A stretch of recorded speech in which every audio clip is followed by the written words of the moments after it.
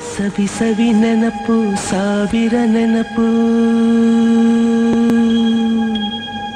ಸಾವಿರ ಕಾಲ ಸವೆಯದ ನೆನಪು. ನಮಸ್ಕಾರ. ಸವಿಸುವ ನೆನಪು ಕಾರ್ಯಕ್ರಮಕ್ಕೆ ಆತ್ಮೀಯ ಸ್ವಾಗತ ಕೋರ್ತಾ ಇದ್ದೇವೆ ನೆನಪುಗಳು ಮತ್ತು ಕನಸುಗಳು ನಮ್ಮನ್ನು ಸದಾ ಕಾಡ್ತಾ ಇರ್ತವೆ. ಅಂಥ ನೆನಪುಗಳನ್ನು, ಅಂಥ ಕನಸುಗಳನ್ನ ಸಮ್ಮಿಶ್ರವಾಗಿ ಇಡುವಂಥ ಕಾರ್ಯಕ್ರಮ ಸವಿ ಸವಿ ನೆನಪು. ಇವತ್ತು ನಮ್ಮೊಂದಿಗಿದ್ದಾರೆ ಸಮಾಜದ ಹಲವು ಸ್ಥಾನಗಳು ತಮ್ಮನ್ನು ತೊಡಗಿಸಿಕೊಂಡವರು. ಧರ್ಮದರ್ಶಿ ಡಾಕ್ಟರ್ ವಿಜಯ ಬಲ್ಲಾಳ್ ಅವರು. ಅವರಿಗೆ ಸ್ವಾಗತ ಕೊಡ್ತಾ ಇದೆ ಸರ್ ನಮಗೆ ಹೆಚ್ಚಾಗಿ ನೆನಪಾಗೋದಂತೂ ಬಾಲ್ಯ ನಮಗೆ ತುಂಬ ನೆನಪಾಗುತ್ತೆ. ನಿಮಗೆ ಬಾಲ್ಯ ಅಂದ್ಕೊಳ್ಳೆ ನೆನಪಾಗ ಘಟನೆಗಳು ಯಾವುದು ಸರ್? ಚಿಕ್ಕನ್ನಲ್ಲಿ ಆಡಿದ ಆಟಗಳು ಯಾವ ನೆನಪಾಗುತ್ತೆ ಬಾಲ್ಯಗಳಿರುತ್ತೆ ಬಾಲ್ಯ ನಮ್ಮದು ಭಾಳಷ್ಟು ಸುಂದರವಾಗಿತ್ತು. ಯಾಕೆಂದರೆ ನಮ್ಮ ತಂದೆಯವರು ಹದಿನಾರು ಮಠದ ಶಾಖೆಯಾದ ಮಣಿಪುರ ಉದ್ಯೋಗದ ಹತ್ರ ಇದೆ. ಅದು ಐಲ್ಯಾಂಡ್. ಅದರಲ್ಲಿ ಮಠದಲ್ಲಿ ದ್ವೀಪ ಅದು. ಅಲ್ಲಿ ಅಲ್ಲಿಯ ಮುಖ್ಯ ಮುಖ್ಯಸ್ಥರು ಅಥವಾ ದಿವಾಣರಾಗಿದ್ದರು ಸೊ ಅಲ್ಲೇ ಹುಟ್ಟಿ ಬೆಳೆದವರು. ಸೊ ನಾವು ಉಡುಪಿಗೆ ಬಂದರೆ ಉಡುಪಿಯಿಂದ ಹೋಗುವಾಗ ಉದ್ಯಾವರ ಅಥವಾ ಕಡ್ಪಾಡಿಯಿಂದ ದೋಣಿಯಲ್ಲಿ ಕ್ರಾಸ್ ಮಾಡಿ ಇಲ್ಲಿ ಬರಬೇಕಾಗ್ತದೆ. ಮತ್ತು ಅದು ಕಂಪ್ಲೀಟ್ ಪೂರ್ತಿಯಾಗಿ ಹಳ್ಳಿಯ ವಾತಾವರಣ ಆದ್ದರಿಂದ ಇದರಲ್ಲಿ ಗದ್ದೆಗಳು ಸ್ವಲ್ಪ ಅಲ್ಲೇ ದೂರದಲ್ಲಿ ತೋರುವಂಥ ಹೊಳೆ ಮತ್ತೊಂದು ಆನೆ ಸಹ ಇತ್ತು ಅಲ್ಲಿ ಮಠದ ಮಠದ ಆನೆ. ಅಂದಾಗ ಆ ಆ ನೆನಪುಗಳು ನನಗೆ ಈಗಲೂ ಅಲ್ಲಿ ಆ ಮಣಿಪುರ ಅಂತ ಯೋಚನೆ ಮಾಡೋ ಭಾಳಷ್ಟು ನೆನಪಾಗುತ್ತೆ. ಅಂದರೆ ಸಣ್ಣದಿರುವಾಗ ಪ್ರಕೃತಿಯೊಂದಿಗೆ ಬೆಳೆದವರು ನಾವು ಮತ್ತು ಆ ಹಳ್ಳಿಯ ಜೀವನ. ಮಳೆಗಾಲದಲ್ಲಿ ನೆರೆ ಬರೋದು ಇತ್ತು ಅಲ್ಲಿ. ನೆರೆ ಬಂದರೆ ನಮ್ಮ ಮಠದ ಎತ್ತರದಲ್ಲಿದೆ. ಹತ್ತು ಫೀಟ್ ಹತ್ತು ಸುಮಾರು ಹತ್ತು ಫೀಟ್ ಕೆಳಗೆ ಗದ್ದೆಗಳು. ಅಲ್ಲಿವರೆಗೆ ನೀರು ಬರೋದು. ನಮ್ಮ ಮಠಕ್ಕೆ ಒಂದು ಒಂದು ಸಾವಿರ ಎರಡು ಸಾವಿರ ಆಗ ದನಿ ಮಕ್ಕಳು ಸಂಬಂಧ ಇದ್ದರಿಂದ ಎಲ್ಲ ಬರೋರು ಅವರಿಗೆ ಊಟ ಬಳಸೋದು, ಇದು ಮಾಡೋದು ಇದು ಮಾಡೋದು ಭಾಳಷ್ಟು ಚೆಂದ ಇತ್ತು. ಶಾಲೆ ಹೋಗುವಾಗ ನಮ್ಗೆ ಒಂದೂವರೆ ಕಿಲೋಮೀಟ್ರ್ ಶಾಲೆಗೆ ಹೋಗಲಿಕ್ಕಿತ್ತು. ದೊಡ್ಡ ಕೋಟೆಯಲ್ಲಿ ಒಂದು. ಮತ್ತು ಅಲ್ಲಿ ಸಂಸ್ಕೃತ ಶಾಲೆ ಇತ್ತು. ಮಠದಲ್ಲಿ. ಸೊ ಆ ವಿದ್ಯಾರ್ಥಿಗಳು ನಾವು, ಒಂದು ಹಾಸ್ಟೆಲ್ ಜೀವನ ತಂದೆ ತಾಯಿಗಳಿದ್ರು, ನಮ್ಮನ್ನು ನೋಡೋರು ಎಲ್ಲರಿದ್ರು ಸಹ. ಎಲ್ಲರೊಟ್ಟಿಗೆ ಮಕ್ಕಳೊಟ್ಟಿಗೆ ನಾವು ಇದ್ದುಕೊಂಡು ಆ ರೀತಿಯ ಪರಿಸರದಲ್ಲಿ ನಾವು ಅಲ್ಲಿ ಬೆಳೆದೆವು.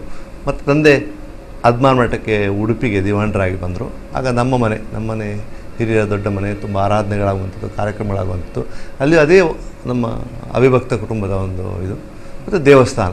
ದೇವಸ್ಥಾನ ಕಾರ್ಯಕ್ರಮಗಳಲ್ಲಿ ಸಕ್ರಿಯವಾಗಿ ಭಾಗವಹಿಸ್ ಭಾಗವಹಿಸ್ತಾ ಇದ್ದವು ಒಟ್ಟಿನಲ್ಲಿ ಆಗ ನಾವು ಈಗಿನ ಮಕ್ಕಳಿಗೆ ಏನು ಸೌಕರ್ಯಗಳಿದೆ ಆಡಲಿಕ್ಕೆ, ಅಥವಾ ಏನು ಸೌಲಭ್ಯಗಳಿದೆ, ಎಲ್ಲ ಮನೋರಂಜನೆಗಳಿದೆ, ಅವರಿಗೆ, ಅವರಿಗಿಂತ ಹೆಚ್ಚು ಸಂತೋಷ ನಾವು ನಮ್ಮ ಬಾಲ್ಯದ ಜೀವನದಲ್ಲಿ ಮಾಡಿದೆವು ಎಂಬುದನ್ನು ಈಗಲೂ ನಾನು ಅದನ್ನು ಹೇಳಲಿಕ್ಕೆ ಸಂತೋಷ ಪಡ್ತೇನೆ. ಖುಷಿಯಾಗಿ ತುಂಬ ಖುಷಿಯಾಗಿ ಚಿಕ್ಕನಲ್ಲಿ ಯಾವುದೆಲ್ಲ ಆಟವನ್ನು ಆಡ್ತಾ ಇದ್ರಿ ಆಗ ನಾವು ಮುಖ್ಯವಾಗಿ ನೀವು ಹೇಳಿದರೆ ಆಗದ ಆಟಗಳು ಲಗೋರಿ ಪಿಲ್ಚಂಡಿ ಅಥವಾ ಕುಂಟಲಪಿ ಬೊಗರಿ ಆಟ ಮುಟ್ಟಾಟ ಅಂತೇಳಿ ಈಗದವ್ರಿಗೆ ಮಕ್ಕಳಿಗೆ ಗೊತ್ತಿರಲಿಕ್ಕಿಲ್ಲ ಅದೆಲ್ಲ. ಮತ್ತು ಪೊಕ್ಕು ಅಂತ, ಅದು ತುಳುವಿನ ಶಬ್ದ ಇರಬೇಕು ಪೊಕ್ಕು ಅಂತ. ಈ ಗಜ್ಜಿಗ ಅಥವಾ ಚೆನ್ನೆ ಕಾಳು ಅದನ್ನ ಹಿಡ್ಕೊಂಡು ಆಡುವಂಥದ್ದು, ಕೂತ್ಕೊಂಡು ಆಡುವಂಥ ಆಟ. ಎಲ್ಲದರಲ್ಲ ನಾವು ಅದೆಲ್ಲದರ ತೊಡಸ್ಕೊಳ್ತಾ ಇದ್ದೇವೆ. ಬೇಕಾಷ್ಟು ಇಲ್ಲಿ ಅಂಬಲ್ಪಾಡಿ ಪರಿಸರದಾಗ ಬೇಕಾಷ್ಟು ಮಕ್ಕಳಿದ್ರು ಆಡಲಿಕ್ಕೆ. ಈಗಿದಾಗಲ್ಲ ನನಗೆ ಬೇಕಾಷ್ಟು ಮಕ್ಕಳಿದ್ರು. ಅದರೊಂದಿಗೆ ಆಮೇಲೆ ಕ್ಯಾರಮ್ನಲ್ಲಿ ನಾನು ತುಂಬ ಎಕ್ಸ್ಪರ್ಟ್ ಇದ್ದೆ. ಕ್ರಿಕೆಟ್ ನಾವು ಒಳಗಾಡು ಶಾಲೆಗಳಿರುವಾಗ ಬಿಡಿನಗುಡ್ಡೆಯ ಮೈದಾನದಲ್ಲಿ ಕ್ರಿಕೆಟ್ ಆದಿತ್ಯ ಆದಿತ್ಯವಾರ ಪರ್ಮನೆಂಟ್ ಆಡ್ತಾ ಇದ್ದೇವೆ ಬೆಳಗಿನ ಸಂಜೆವರೆಗೆ. ಇದು ಮುಖ್ಯವಾಗಿ ಆಡ್ತಾ ಇದ್ದೇವೆ ನಾವು ನಿಮ್ಮ ಆರಂಭ ಶಿಕ್ಷಣ ಎಲ್ಲಿ ಆರಂಭಿಸಿ ಪ್ರಾಥಮಿಕ ಶಿಕ್ಷಣ ಎಲ್ಲಿ ಆರಂಭ ನಾನು ಮೊದಲೇ ಹೇಳಿದ ಹಾಗೆ ಮಣಿಪುರದಲ್ಲಿ ನಾವು ಹುಟ್ಟಿದ್ದು. ಅಲ್ಲಿಯ ಮಣಿಪುರ ಶಾಲೆಯಲ್ಲೇ ನಮ್ಮದು ಆರಂಭಿಕ ಶಿಕ್ಷಣ. ಮೊದಲು ಹೇಗಿತ್ತು ಅಂತ ಹೇಳಿದ್ರೆ ಒಂದನೇ ಕ್ಲಾಸ್ ನಾವು ಮನೆಯಲ್ಲೇ ಪಾಠ. ಶಾಲೆಗೆ ಹೋಗಿದ್ದಿಲ್ಲ ಒಂದು ಕ್ರಮ ಇತ್ತು ಸರ್ಕಾರದ ಕ್ರಮ ಇತ್ತು. ಮಾಸ್ಟ್ರು ಬಂದು ಶಾಲೆಯಲ್ಲೇ ಮನೆಯಲ್ಲೇ ಪಾಠ ಮಾಡುವಂಥದ್ದು ಒಂದು ತೇರ್ಗಡೆ ಮಾಡುವಂಥದ್ದು. ಸೊ ನಾನು ಎರಡನೇ ಕ್ಲಾಸಿಗೆ ಶಾಲೆಗೆ ಅಮ್ ಹೋಗಿದ್ದು. ಮೂರನೇ ಕ್ಲಾಸ್ ಆದಮೇಲೆ ತಂದೆಯವರು ಅಂಬಲ್ಪಾಡಿಗೆ ಬಂದದ್ರಿಂದ, ಮತ್ತು ಮೂರು, ನಾಲ್ಕು, ಐದು ಅಂಬಲ್ಪಾಡಿ ಶಾಲೆ ಕಲಿತೆ. ಆರು, ಏಳು ಆದಿಡುಪಿ ಹೈಸ್ಕೂಲ್ನಲ್ಲಿ ಎಂಟು, ಒಂಬತ್ತು, ಹತ್ತು ಒಳಕಾಡು ಶಾಲೆ ಈಗೇನು ಮುನ್ಸಿಪಲ್ ಹೈಸ್ಕೂಲ್ ಹೇಳ್ತೇವೆ. ಪಿ ಯು ಸಿ ಮತ್ತು B S C Poornaprajna college medical ಅಂದರೆ M B B S K M C ಮಣಿಪಾಲದಲ್ಲಿ ಮಾಡಿದೆ. ನಿಮ್ದು ಆರಂಭದ ಶಿಕ್ಷಣ ಒಂದೇ ಒಂದನೇ ಕ್ಲಾಸ್ ಏಳನೇ ಕ್ಲಾಸ್ವರೆಗೆ ಇವತ್ತು ಕೂಡ ನೆನಪಿಡೋ ಟೀಚರ್ ನೆನಪಾಗ್ತಾರೆ ಯಾರಾದ್ರು? ಇವತ್ತು ಹೇಳ್ಬೇಕು ಅನ್ಸ್ಕೊಳ್ತಾ ಅವ್ರ ಬಗ್ಗೆ. ಖಂಡಿತವಾಗಿ ನೆನಪಾಗ್ತದೆ. ಮುಖ್ಯವಾಗಿ ಆದಿಡುಪಿ ಶಾಲೆಯ ಮುಖ್ಯೋಪಾಧ್ಯಾಯರು ಈಗ ಅವರು ಸಂಚಾಲಕರಾಗಿದ್ದಾರೆ. ಶ್ರೀಯುತ ಶ್ರೀನಿವಾಸ್ ರಾಯರು. ಈಗಲೂ ಅವರು ಅವರದ್ದು ಮಕ್ಕಳ ಬಗ್ಗೆ ಒಂದು ಅತೀವ ಕಾಳಜಿ, ಒಂದು ಅಭಿಮಾನ, ಅದಕ್ಕಿಂತ ಎಲ್ಲ ಹೆಚ್ಚು ಮುಖ್ಯ ಪ್ರೇಮ. ಮಕ್ಕಳೊಟ್ಟಿಗೆ ಆ ಒಂದು ಸಂವಹನ ಆಗಲಿ ಸ್ಪಂದಿಸೋದಾಗಲಿ ನಮ್ಮ ಮಟ್ಟಕ್ಕಿಳಿದು ನಮಗೆ ಅದನ್ನು ಹೇಳ್ಕೊಡೋದನ್ನು ಇನ್ನೂ ಈಗಲೂ ಆದರ್ಶ ವ್ಯಕ್ತಿ ಅವರು ನಮಗೆ ಒಂದು. ಎರಡನೇದು ಹೈಸ್ಕೂಲ್ನಲ್ಲಿ ಆಗುವಾಗ ಆಗದ ಮುಖ್ಯೋಪಾಧ್ಯಾಯರು ಆಮೇಲೆ ಡಿ ಡಿ ಪಿ ಆಗಿ ನಿವೃತ್ತರಾದರು ಶ್ರೀ ಸೂರ್ಯನಾರಾಯಣ ನಾವಟ್ರು. ಅವರಿಬ್ಬರನ್ನ ಯಾವಾಗಲೂ ನೆನೆಸ್ಕೊಳ್ತೇವೆ ಅವರೇ ನಮಗೆ ಆದರ್ಶ ಗುರುಗಳು ಅಂತ ಹೈಸ್ಕೂಲ್ ಮಟ್ಟದವರೆಗೆ ನಾವು ಇಟ್ಕೊಂಡಿದ್ದೇವೆ. ನೀವು ಹೈಸ್ಕೂಲ್ ಅಥವಾ ಪ್ರೈಮರಿಲಿ ಹೋಗುವಾಗ ಮನೆ ಹೋಗೋ ಭಾಳ ಕಷ್ಟಪಟ್ಟು ಅಥವಾ ಖುಷಿಯಿಂದ ಹೋಗ್ತಾ ಅಥವಾ ಮನೆಯಲ್ಲಿ ಆಟ ಮಾಡಿ ಹಾಗೆ ಹೋಗ್ದುಂಟು? ಹಾಗೆ ಹೋಗ್ತೀರಿ ಖುಷಿಯಿಂದ ಹೋಗ್ತಾ ಇದ್ದೀರಾ? ಶುರುವಿಗೆ ನಮ್ಮದು ಮಣಿಪುರದಲ್ಲಿರುವಾಗ ಎರಡನೇ ಕ್ಲಾಸ್ ಹೋಗುವಾಗ ಭಾಳ ಮಜಾ ಮಾಡ್ತಾ ಇದ್ದೇವೆ ಗಮ್ಮತ್ತಿನಲ್ಲಿ ಇದ್ದೇವೆ ಯೋ ಶಾಲೆ ಹೋಗ್ಬೇಕಾ ಅಂತ ಹೇಳಿ ಈಗ ನಾವು ನೆನೆಸ್ಕೊಳ್ತೇವೆ ಮಾತಾಡುವಾಗ. ಒಂಬತ್ತು ಗಂಟೆಗೂ ಪಕ್ಕ ಹೊಟ್ಟೆ ನೋವು ಬರೋದು ನನಗೆ ಶಾಲೆ ಹೋಗ್ಲಿಕ್ಕೆ ನಾವು ಚಡ್ಡಿ ಹಾಕ್ತಾ ಹೋಗ್ತಾ ಇದ್ದೆ ಚಡ್ಡಿ ಹಾಕ್ಲಿಕ್ಕೆ ಹೊಟ್ಟೆ ನೋವು ಬರೋದು. ಅಮ್ಮ ಕೋಲು ಹಿಡ್ಕೊಂಡು ಮಠಕ್ಕೆ ಮೂರು ಸುತ್ತು ಬಂದು ಮತ್ತೆ ಓಡಿಸೋದು. ಅಂದರೆ ನಮಗೆ ಶಾಲೆ ಹೋಗಬಾರ್ದು, ಶಾಲೆ ತತ್ಸಾರ ಅಥವಾ ಶಾಲೆ ಇಷ್ಟ ಇಲ್ಲ ಅಂತಲ್ಲ, ಇಲ್ಲಿ ಗಮ್ಮತ್ತು ಮಾಡೋದಲ್ಲ ಆ ಟೀಚರ್ ಎದುರು ಕೂತ್ಕೊಂಡು ಮಾಡಬೇಕಲ್ಲ ಅಂತ ಹೇಳ್ಕೊಂಡು ಹಾಗೆ ಮಾಡ್ತಾ ಇದ್ದೀವಿ ಅದು ಎಲ್ಲ ಮಕ್ಕಳಿಗೂ ಕೂಗ್ತಾರೆ, ಈಗಿನ ಮಕ್ಕಳು ಕೂಗ್ತಾರೆ ಸ್ವಾಭಾವಿಕ ಇರ್ಬೋದು ನನ್ನ ಸ್ವಲ್ಪ ಅತಿರೇಕ ಇರ್ಬೋದು ಗೊತ್ತಿಲ್ಲ.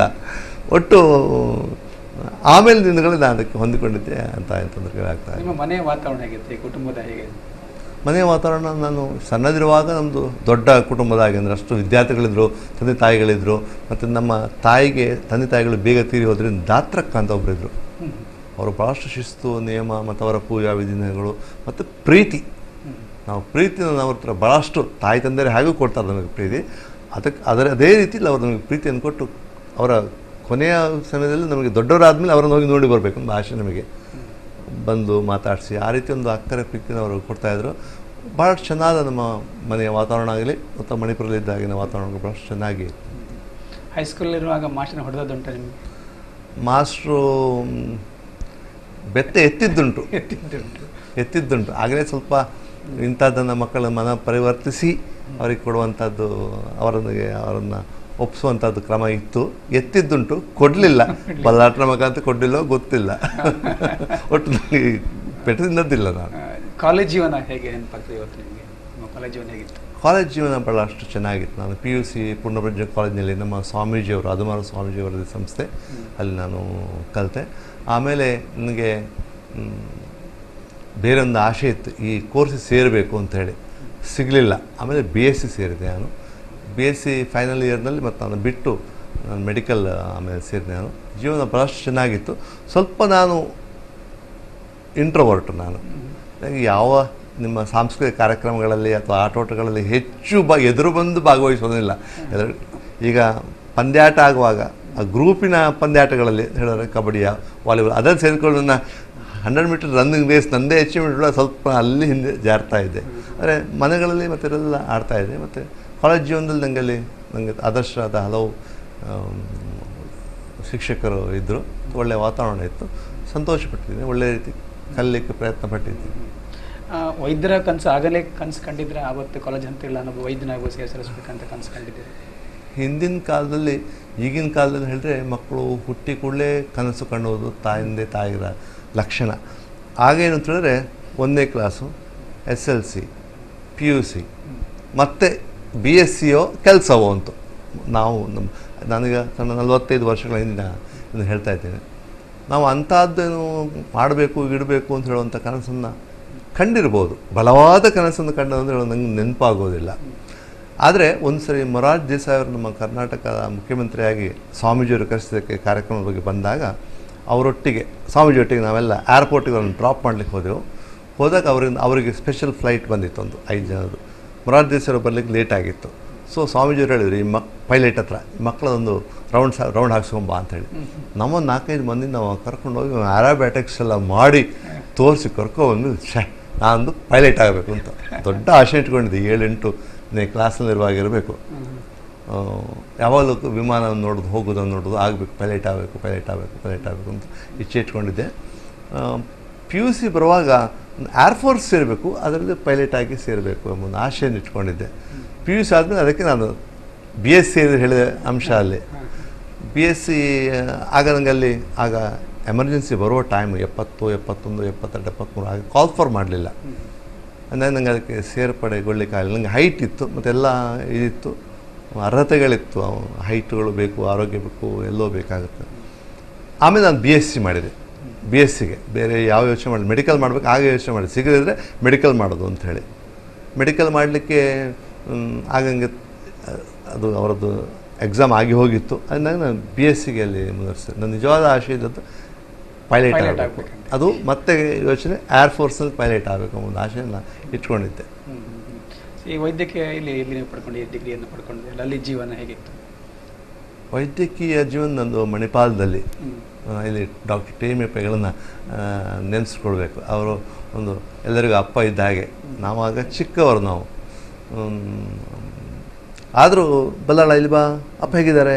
ಪ್ರತಿಯೊಬ್ಬರನ್ನು ಸಹ, ಬಡವರ ರೋಗಿಗಳಾಗಲಿ, ಮಕ್ಕಳಾಗಲಿ, ಪ್ರತಿಯೊಬ್ಬರನ್ನು ವಿಚಾರಿಸಿ, ಮಾತಾಡಿಸಿ, ನಮ್ಮವರು ಅಂತ ಹೇಳುವ ರೀತಿ ಒಂದು ಭಾವನೆಯನ್ನು ಅವರು ತೋರಿಸ್ತಾ ಇದ್ದರೆ ನನಗೆ ಅವರು ಮರೆಯಲಾದ ವ್ಯಕ್ತಿಯವರು ಭಾಳಷ್ಟು ನನಗೆ ಇನ್ಫ್ಲುಯೆನ್ಸ್ ಮಾಡಿದವರು. ನಾನು ಕೆ ಎಂ ಸಿ ಮಣಿಪಾಲದಲ್ಲಿ ನಾನು ನನ್ನ ವೈದ್ಯಕೀಯ ವಿದ್ಯಾಭ್ಯಾಸವನ್ನು ಮುಗಿಸಿದೆ. ಕೆ ಎಂ ಸಿ ಹೇಳಿದರೆ ನಾವು ಹೇಳಿದ್ರೆ ಸಮಥಿಂಗ್ ಡಿಫರೆಂಟ್ ಅಂತ. ನಾನಿರುವಾಗ ಸಣ್ಣ ಮೂವತ್ತೈದು ಬೇರೆ ದೇಶದ ವಿದ್ಯಾರ್ಥಿಗಳು ಬರ್ತಾಯಿದ್ರು ಈಗ ಅರವತ್ತು ಎಪ್ಪತ್ತು ದೇಶ ವಿದ್ಯಾರ್ಥಿಗಳು ಬರ್ತಾ ಇದ್ದಾರೆ. ಆಗಿನ ಜೀವನ ನಮ್ಮದು ಭಾಳಷ್ಟು ಒಳ್ಳೆಯ ಇತ್ತು ಮೆಡಿಕಲ್ ಮಾಡೋದು ಅಂತ ಹೇಳಿದರೆ ನಿಮಗೆ ನಾವು ಲೈವ್ ಥಿಂಗ್ಸ್ನೊಟ್ಟಿಗೆ ಅಂದರೆ ಮನುಷ್ಯರೊಟ್ಟಿಗೆ ಸಂಬಂಧವನ್ನು ಬೆಳೆಸ್ಕೊಳ್ತಾ ಅವರೊಟ್ಟಿಗೆ ಪರಸ್ಪರ ಸಂವಾದ ಮಾಡಿಕೊಂಡು ಅವ್ರು ತಗೊಂಡು ಅದು ಲೈವ್ಲಿ ಇದು. ನಾವು ತೆಗೆದುಕೊಂಡ ಹಾಗೆ ಉಂಟು. ಒಂದು. ಮತ್ತು ಕೆ ಎಂ ಸಿಗೆ ಒಂದು ಬೇರೆ ಒಂದು ಇದುಂಟು ಎಲ್ಲಿ ಹೋದರೆ ಸಹ. ಎಲ್ಲ ಇವರು ಇರ್ತಾರೆ. ನಮ್ಮದೇ ಊರು. ಎಲ್ಲ ನಮಗೆ ಬೇಕಾದವರೇ. ಅದರೊಟ್ಟಿಗೆ ರೋಗಿಗಳನ್ನು ನೋಡುವಂಥದ್ದು ನಮ್ಮವರು. ಬೇರೆ ಬೇರೆ ದೇಶದವರು. ಅವರೊಟ್ಟಿಗೆ ಎಲ್ಲ ಕಲ್ಚರ್ ಅವರ ಅವರ ನೇಚರು ಅವರ ಆ್ಯಟಿಟ್ಯೂಡು ಅದು ಅದರ ಬಗ್ಗೆ ಅವರ ದೇಶಗಳ ಬಗ್ಗೆ ಮತ್ತು ಅವರ ಕಲ್ಚರಲ್ಲೂ ತುಂಬಷ್ಟು ಅದಕ್ಕೆ ಎಕ್ಸ್ಪೋಷರ್ ಸಿಕ್ಕಿತ್ತು. ನಾನು ನಾನು ಚೇಷ್ಟೆಯನ್ನು ಮಾಡ್ತಿದ್ದಲ್ಲ ಕಾಲೇಜಲ್ಲಿರುವಾಗ ಚೇಷ್ಟೆಗಳು? ಚೇಷ್ಟೆಗಳು ನಾನು ಸ್ವಲ್ಪ ಆಗಲೇ ಹೇಳಿದೆ ಸ್ವಲ್ಪ ಇಂಟ್ರೋವರ್ಟ್ ಒಂದು ಎದುರು ಹೋಗಲಿಕ್ಕಿಲ್ಲ. ಆದರೆ ಪೂರ್ಣಬಂಜ ಕಾಲೇಜ್ ನಾನು ಚೇಷ್ಟೆ ಮಾಡಿದೆ ಅಂತ ಒಂದು ಸಣ್ಣ ಅಪವಾದ ಬಂದಿತ್ತು. ಆಗ ನಾನು ಮೆಡಿಕಲ್ ಬಿಟ್ಟು ಹೋಗಿ ಆಗಿದೆ. ಯಾರೊಬ್ಬ ಲೈಬ್ರರಿಗೆ ಸ್ವಲ್ಪ ತೊಂದರೆ ಆಯಿತು ನಾನೇ ಮಾಡಿರಬೇಕು ಅಂತ ಹೇಳಿದರು. ನಾನು ಸ್ಟ್ರೈಟ್ ಆಗಿ ಅವ್ರ ಹತ್ರ ಹೇಳಿದ್ದೆ. ಪ್ರೂವ್ ಮಾಡಿ ನನಗೆ ಹೇಳಿ ಅಪಾದನೆ ಹೊರಡ್ರಿ ಇಲ್ಲ ಆ, ಇಲ್ಲ ನನ್ನ ಮೇಲೆ ಅಪಾದನೆ ಹಾಕಬೇಡಿ. ತಂದೆ ಹತ್ರ ವಿಜಯನ ಬನ್ನಿ ವಿಜಯ ಬರಲಿ ಅಂತ ಹೇಳೋದು ಬೇಡ ಅಂತೇಳಿ. ಅದು ಸೀದಾಗಿ ಹೇಳಿದೆ ಅದು ಪಿ ನಾರಾಯಣ ರಾಯರು ನಮ್ಮ ಪ್ರಿನ್ಸಿಪಾಲ್ರಾಗಿದ್ದರು ನನಗೆ ಹೇಳಿ ಸರ್ ದಿನ ತಂದೆಗೆ ಫೋನ್ ಮಾಡಬೇಡಿ. ನಾನೇ ಸಂಜೆ ಸಂಜೆ ಬಂದು ಹೋಗ್ತೇನೆ. ಯಾರು ನಿಮಗೆ ಹೇಳಿದ್ದು ಹೇಳಿ ಅಂತ. ಮತ್ತು ಎನ್ಕ್ವೈರಿ ಕಮಿಟಿ ಆಯಿತು. ಮತ್ತು ಅದನ್ನು ಅವರಿಗೆ ಮನವರಿಕೆ ಬರ್ಕಾಸ್ತು ಮಾಡಿದರು. ಸ್ವಾಮೀಜಿಯವರು ಬಂದು ನಾನು ಹೇಳಿದೆ ಸರ್ ಇವರು ಹೇಳಿ ಸರ್ ಆಪಾದನೆ ಹಾಕೋದಲ್ಲ ಪ್ರೂವ್ ಮಾಡಿಕೊಡ್ಬೇಕು. ಅದು ನಾನು ಒಪ್ತೇನೆ ಅಂತ ಹೇಳಿದೆ ಆಗ ಬಿಟ್ಟಾಗಿತ್ತು. ಅದು ಬಿಟ್ಟರೆ ಅಂಥ ದೊಡ್ಡ ಚೇಷ್ಟೆ ಸಣ್ಣ ಪುಟ್ಟ ಇರ್ಬೋದು ನಮ್ಮ ನಮ್ಮ ಚೇಷ್ಟೆಗಳು. ಸೊ ಇದು ಸುದೀರ್ಘವಾದ ವೈದ್ಯಕೀಯ ಸೇವೆಯಲ್ಲಿ ಕೆಲವು ಘಟನೆಗಳನ್ನು ಬರ್ತದೆ ಮರೆಯಲಾದ ಘಟನೆಗಳು ಅಥವಾ ನಗದೊರೆಸುವ ಘಟನೆಗಳು. ನಾನು ಇಪ್ಪತ್ತೇಳು ವರ್ಷ ಆಯಿತು ವೈದ್ಯಕೀಯ ಇದನ್ನು ಪ್ರಾರಂಭ ಮಾಡಿ ಇಪ್ಪತ್ತೇಳನೇ ವರ್ಷ ಈಗ.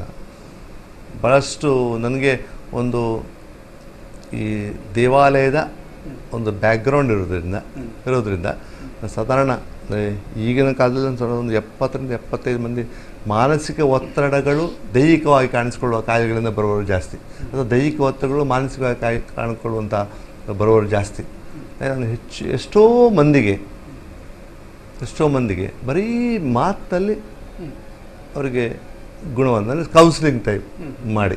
ಅದಕ್ಕೆ ಸ್ವಲ್ಪ ನಮ್ಮ ತಂದೆಯ ಕೆಲವು. ಇದು ಪ್ರಭಾವ. ಒಂದು ಎರಡನೇ ಅವರ ದರ್ಶನದಲ್ಲಿ ಹೇಳುವಂಥ ರೀತಿಗಳು. ಮನಸ್ಸಿಗೆ ಒಪ್ಪುವ ರೀತಿಯಲ್ಲಿ. ಆ ರೀತಿಯಲ್ಲಿ ಅವನಿಗೆ ಹೇಳಿ ಎಂದು ಅಲ್ಲಲ್ಲಿ ಅಲ್ಲಿ ದೇವರನ್ನು ತರಲಿಲ್ಲ ನಾನು. ದೇವರಂತ ನನ್ನ ರೀತಿಯಲ್ಲಿ ಹೇಳಿ. ಹಲವರಿಗೆ ಅದರಲ್ಲಿ ಅದು ಕತೆ ಬರೆಯುವುದಾನ ಒಂದು ಮುನ್ನೂರು ನಾಲ್ನೂರುಗಳ ಮಿರಾಕಲ್ಸ್ ಆಗುವಾಗ ಆಗಿದೆ. ಅವ್ರಿಗೆ ಮತ್ತೆ ಮರುಕಳಿಸ್ಲಿಲ್ಲ. ಹದಿನೈದು ಇಪ್ಪತ್ತು ವರ್ಷ ಆದಾಗ. ಮತ್ತು ನಗೆ ಬರುವಂಥ ಘಟನೆಗಳೆಲ್ಲ ಭಾಳಷ್ಟು ಇದೆ. ಅದು ಒಟ್ಟು ಭಾಳ ಚೆನ್ನಾಗಿ ನಮ್ಮ ನನ್ನ ಮತ್ತು ವೈ- ರೋಗಿಗಳ ಸಂಬಂಧ. ಬರೀ ನಾನು ರೋಗಿ ಅಂತ ನೋಡಿದೆ ಬಂದವರಿಗೆ ಆದಷ್ಟು ಒಳ್ಳೆಯ ಟ್ರೀಟ್ಮೆಂಟ್ ಕೊಟ್ಟು ಅಥವಾ ಔಷಧವನ್ನು ಕೊಟ್ಟು ಹೊರ ಕಳಿಸ್ಬೇಕು. ನಾಳೆ ನಗನಗ್ತಾ ಬರಬೇಕೆಂಬುದನ್ನು ಜಾಸ್ತಿ ಕೊಟ್ಟಿದೆ. ಮತ್ತು ಮನಸ್ಸಿಗೆ ಹೆಚ್ಚು ಪ್ರಾಮುಖ್ಯತೆ ಕೊಡ್ತಾ ಇದೆ. ಮನಸ್ಸನ್ನು ಸರಿ ಮಾಡಿಸ್ಕೊಂಡು ನಾವು ಹೇಳ್ತೇವೆ ನಂಬಿದರೆ ಅದಕ್ಕೋಸ್ಕರ ಹೆಚ್ಚು ಒತ್ತುಗಳನ್ನು ಕೊಡ್ತಾ ಇದೆ.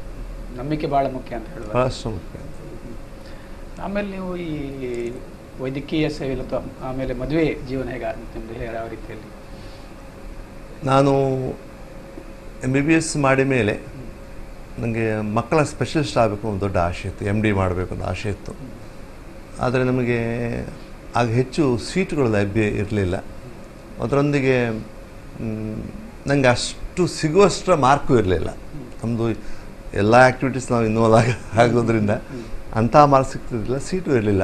ಅದಕ್ಕೋಸ್ಕರ ನಾನು ಪ್ರಾಕ್ಟೀಸ್ ಸ್ಟಾರ್ಟ್ ಮಾಡಿದೆ. ಪ್ರಾಕ್ಟೀಸ್ ಸ್ಟಾರ್ಟ್ ಮಾಡಿದ ಮೇಲೆ ಆಗ ಭಾಳಷ್ಟು ಒಳ್ಳೆಯ ನನಗೆ ಪ್ರಾಕ್ಟೀಸ್ ಇತ್ತು. ನಾನು ಹೇಳುವಂಥದ್ದಲ್ಲ, ಇಡೀ ಉಡುಪಿಯಲ್ಲಿ ನನಗೆ ಬರುವಷ್ಟು ಪೇಷನ್ಸು ಯಾರು ಬರ್ತಿಲ್ಲ ಅಂತ ಹೇಳ್ತಾ ನಾನು ಹೇಳುವಂಥದ್ದಲ್ಲ.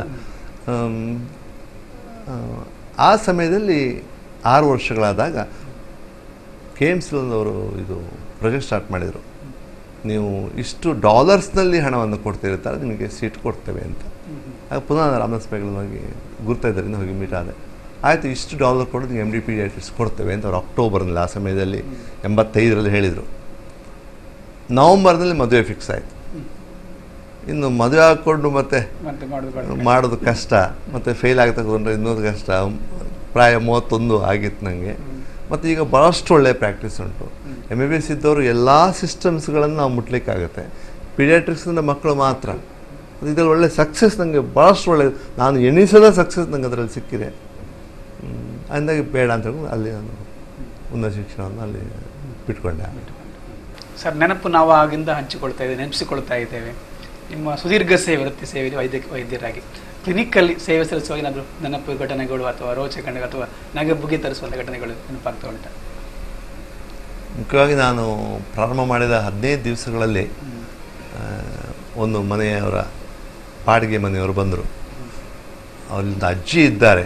ಅವ್ರದ್ದು ಅವಿಭಕ್ತ ಕುಟುಂಬ, ಎಂಟತ್ತು ಮಂದಿ ಇದ್ದಾರೆ. ಬಹಳಷ್ಟು ಬಡ ಕುಟುಂಬ.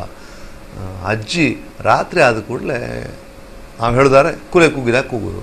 ಕೂಗ್ತಾ ಬೆಳಗ್ಗಿನವರೆಗೆ ಕೂಗ್ತಾ ಇರ್ತಾರೆ ಅವರು. ನಮಗೆ ಹೊರಗಿಂದ ಕೇಳುವಾಗ ಅಥವಾ ಎಲ್ಲರೂ ಹೇಳುವಾಗ ಅದು ಕೂಲೆ ಕೂಗುದು ಹೇಳೋ ರೀತಿಯಲ್ಲೇ ಮಾಡೋದು ಅಂತ ಹೇಳಿ. ನಾವು ವಿಚಾರಿಸಿದಾಗ ಅಮ್ಮನಿಗೆ ಹಾಗೆ ಡಾಕ್ಟರ್ ಹೇಳಿದಾಗ ಏನಿಲ್ಲ ಹೇಳ್ತಾರೆ ಎಲ್ಲ ಮದ್ದಾಯಿತು ಎಲ್ಲ ಕಡೆ ಹೋಗಿದ್ದೇವೆ ಅಂತ ಹೇಳಿದರು. ಬಟ್ ಒಂದು ಬಂದು ನೋಡಿ ಎಷ್ಟು ಗಂಟೆಗೆ ಹೋಗ್ತಾರೆ? ಹನ್ನೆರಡು ಗಂಟೆ ರಾತ್ರಿ. ಹೋದೆ. ಹೋಗುವಾಗ ಮನೆಯಲ್ಲಿ ಸಣ್ಣ ದೀಪ ಬಡ ಕುಟುಂಬ ಅದು. ತಂದೆ ಅಂದರೆ ಆ ಹೆಂಗಸಿನ ಗಂಡ ಅಶ್ವತ್ಥಾಮ ಅಂತ ಹೆಸರು. ಅಶ್ವತ್ಥಾಮರಾಗೆ ಕುಬ್ಜ ಗಡ್ಡ ಉಂಟು. ಹೀ ಇದ್ದಾರೆ. ಮಕ್ಕಳು, ಎಲ್ಲ ಅಲ್ಲಲ್ಲಿ ಮಲ್ಕೊಂಡಿದ್ದಾರೆ ಮಕ್ಕಳು. ಎಲ್ಲ ಕೆಲಸ ಮಾಡಿಸೋದು ಒಂದು ಹೆಂಡತಿ ಮಕ್ಕಳು. ಅವರವರು ಸಲ ಎರಡು ರೂಮಲ್ಲಿ ಮಲ್ಕೊಂಡಿದ್ದಾರೆ. ಕತ್ಲೆ ಕತ್ಲೆ ಕತ್ಲೆ ಉಂಟು.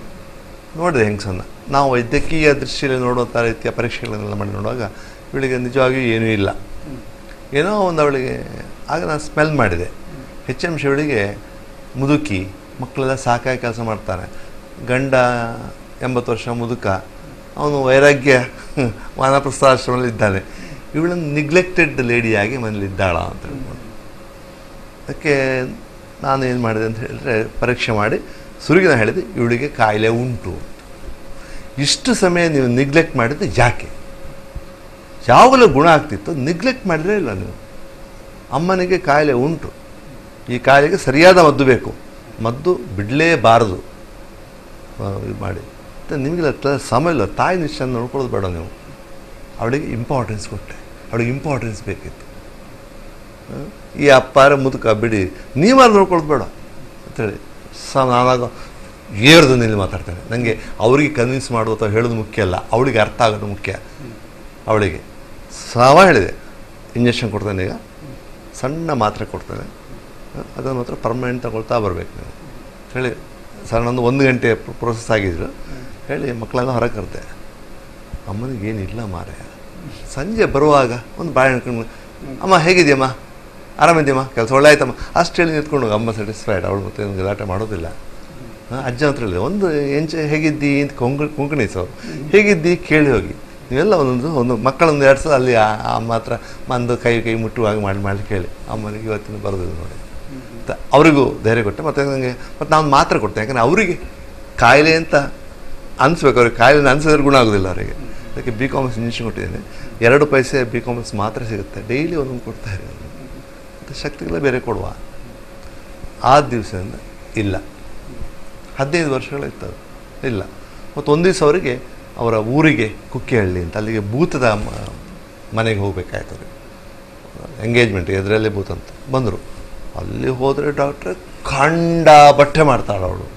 ಸಿಕ್ಕಾಬಟ್ಟೆ ಅವಳು, ಗಲಾಟೆ. ತಡ್ಕೊಳ್ಳಿಕ್ಕಾಗೋದಿಲ್ಲ. ಯಾರಿಗೂ ಅಲ್ಲ ಇಷ್ಟು ಮುದುಕಿ ಆದರೂ ತಡ್ಕೊಳ್ಳಿಕ್ಕಾಗೋದಿಲ್ಲ ಅಂತ. ಕರ್ಕೊಂಬಂದು ಹೇಳಿದೆ. ಬರೋ ಶನಿವಾರ ಹೋಗಲಿಕ್ಕೆ ಅಂತ. ಕರ್ಕೊಂಬಂದಿದ್ದೆ ಬಂದರು ಪುನಃ ಹೇಳಿದೆ. ಹೋಗುವಾಗ ನನ್ನ ಹತ್ರ ಬರಬೇಕು. ಒಂದು ಮಾತ್ರೆ ಕೊಡ್ತಾನೆ. ಕಾರಲ್ಲಿ ಕರ್ಕೊಂಡು ಹೋಗಬೇಕು. ಅವಳನ್ನು. ಇನ್ನು ಬಸ್ಗೆ ಸಹ ರಿಕ್ಷಲ್ಲಿ ಕರ್ಕೊಂಡು ಹೋಗೋದಿಲ್ಲ. ಅಮ್ಮನ ಕಾರಲ್ಲಿ ಕರ್ಕೊಂಡು ಹೋಗಬೇಕು. ಅರ್ಧದಲ್ಲಿ ಒಂದು ಮತ್ತೊಂದು ಮಾತ್ರೆ ಕೊಡ್ತಾನೆ. ಅದನ್ನು ತಗೊಳ್ಳಿ ನೋಡಿ ಬರ್ದೆ ನೋಡಿ. ಅವತ್ತು ಹೇಳಿದೆ. ನಾನು ಹೇಳಿದ್ದಾಗುತ್ತಾ ಇದ್ದೀನಿ. ಅದರಲ್ಲಿ ಇಂಪಾರ್ಟೆನ್ಸ್ ಕೊಡಿ. ಕಾಲಕ್ಕೆ ಕರ್ಕೊಂಡು ಹೋಗುವಾಗ ಮಕ್ಕಳನ್ನ ನೋಡ್ಕೊಳ್ತಾರೆ ಅಂತ ಹೇಳ್ಕೊಂಡು. ಅದೇ ರೀತಿ ಒಂದು ಮಾತುಗಳು ಎಲ್ಲ ಬಿಕಾಸ್ ಬಣ್ಣ ಬಣ್ಣದ ಮಾತುಗಳು ಅಷ್ಟೇ ಕೊಡೋದ್ರೆ ಅವ್ರಿಗೆ ಸ್ಯಾಟಿಸ್ಫೈ ಆಗ ಅವರು. ಇಲ್ಲ ನನಗೆ ಅವಳಿಗೆ ಇದರದ್ದು ಸೆಕ್ರೆಟ್ರಿ ಮಾತ್ರೆಗಳು ಕೊಡಬೇಕು. ಅದಕ್ಕೆ ಇದನ್ನು ನೋಡಿದೆ. ಜೀವ ಕೊಳ್ಳೆ ಆಯಿತು ಅವಳಿಗೊಂದು ಇದು ಮನಸ್ಸಿಗೆ ಇದಾಯಿತು ಅಂತ ಹೇಳಿ. ಎಷ್ಟೋ ವರ್ಷಗಳ ಮೇಲೆ ಆ ದಿವಸ ಅವಳಿಗೆ ಇದು ಬರಲಿಲ್ಲ ಅವ್ರು ಕೊನೆ ಸಾಯುವವರೆಗೆ ಸತ್ರ ತೀರೋದ್ರು. ಅವ್ರು ಹಾರ್ಟ್ ಪ್ರಾಬ್ಲಮ್ ಆಗಿ ತೀರೋದ್ರು. ಬರಲೇ ಇಲ್ಲ ಆ ಹೆಂಗಸಿಗೆ ಮತ್ತೊಂದು ಹುಡುಗಿ ಬಂದು ಬಂದರು ಅವರಿಗೆ ನಂಬಿಕೆಗಳೆಲ್ಲ ಈ ಬಬ್ಬು ಅಂತರ ನಂಬಿಕೆಯವರು.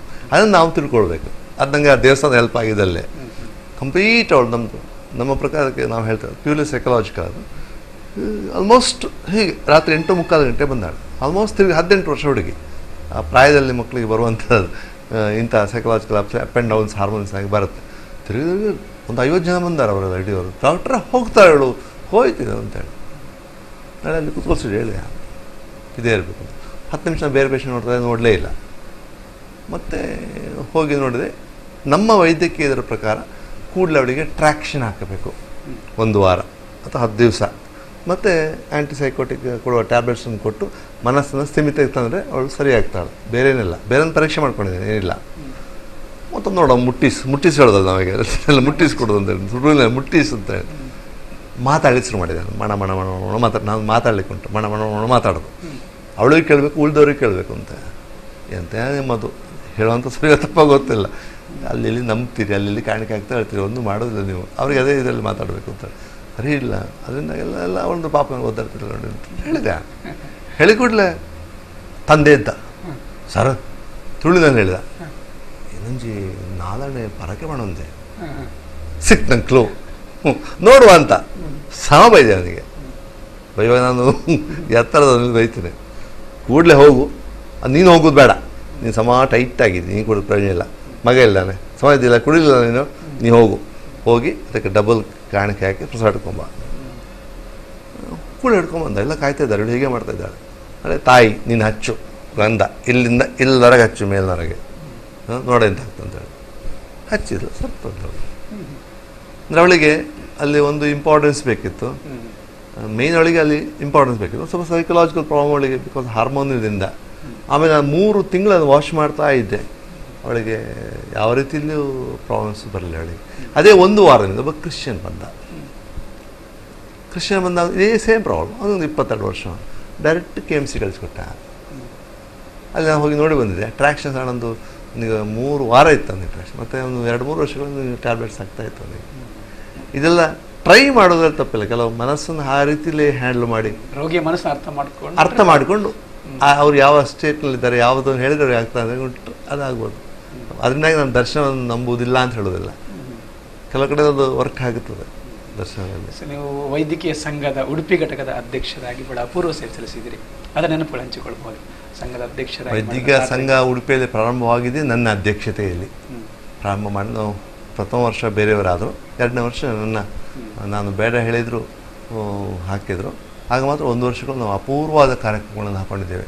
ಮುಖ್ಯವಾಗಿ ಸಾಮಾಜಿಕ ಮತ್ತು ನಮ್ಮ ಸಂಘಕ್ಕೆ ಅದರೊಟ್ಟಿಗೆ ನಮ್ಮದು ಡೇಸ್ ಬರ್ತದೆ. Malaria day elephant filariasis day AIDS day ಎಲ್ಲ ಇದನ್ನು ಸಾರ್ವಜನಿಕವಾಗಿ ನಾವು ಆ ಕಾರ್ಯಕ್ರಮಗಳನ್ನು ಮಾಡಿದ್ದೇವೆ.